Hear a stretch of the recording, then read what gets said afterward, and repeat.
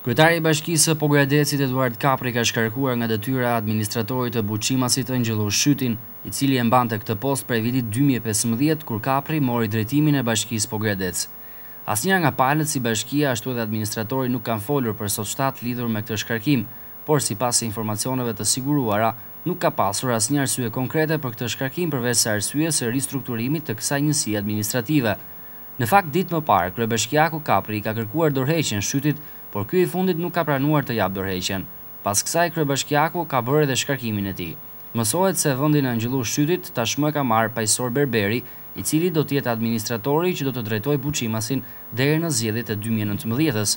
Shkarkimi i Shytit në një moment të tillë tregon edhe marrëdhëniet e acaruara që janë mes institucionit të Bashkisë Pogradec dhe Partisë Demokratike Pogradec, pasi kujtojmë se Shyti është dhe kryetar grupseksionit Partisë Demokratike në njësinë Buçimas.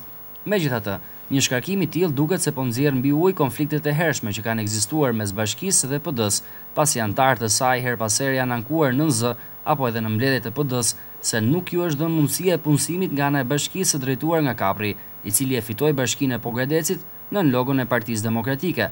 A e dëmton një shkarkim i tillë Kaprin për të rikandiduar në zgjedhjet e dy mijë e nëntëmbëdhjetës? Kjo mbetet për t'u parë se sa mbështetje do të humbë ai nga njësia Buçimas dhe fshatrat e saj.